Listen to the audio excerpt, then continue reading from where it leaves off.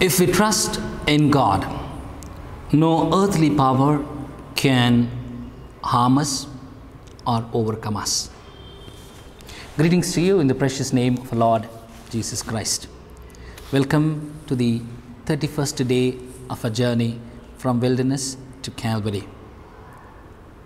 Today's readings highlight to us about God's trust or our trust in God can empower us.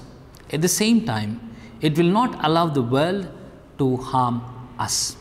This is beautifully explained to us from the book of Daniel, chapter 3, verses 52 to 56. As we all know the story of Shadrach, Meshach, and Abednego, who were asked to bow before the golden molded God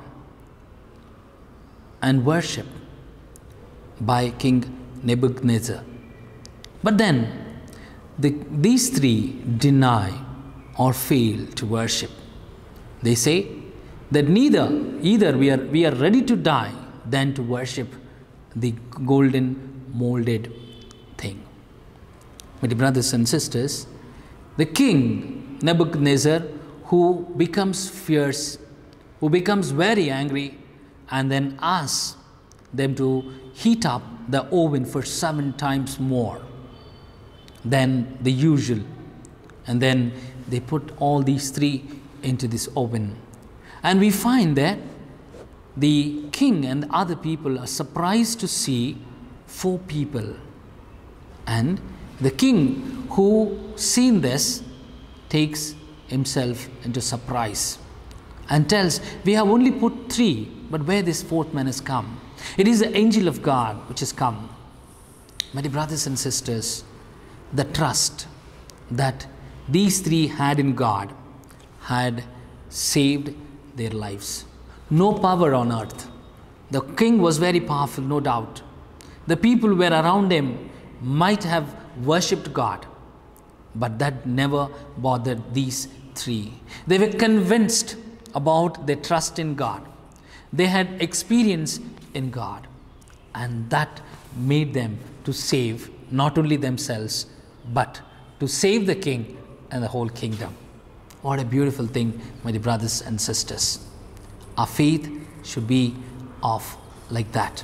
And that's why in the gospel today, Jesus tells his disciples, If you continue in my word, you will know the truth, and the truth will make you free, or the truth will set you free.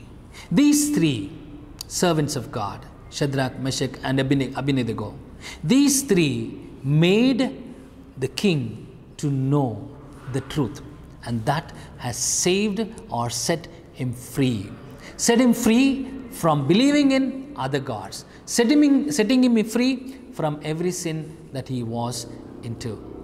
My dear brothers and sisters, how is our trust in God? Is our trust a peripheral or is our trust just a material based or it is like give and take? If God gives me, I trust in Him. If it does, God doesn't give me, I don't believe in Him. My dear brothers and sisters, we mortgage God for our selfish reasons, selfish things. Therefore, today, as we are getting closer and closer to celebrate the mysteries of God, how much of trust, how much of experience that I've gained through my observances. Just have a look back, look back. The sacrifices that I made, the prayers that I made, the charity bills that I'm doing, are all these things building my trust in God or because of the temptations, am I losing the trust in God? Where do I stand? Where do you stand? If you like this small piece of reflection, kindly comment, like, and share, and do not forget to contribute. God bless you and have a wonderful day.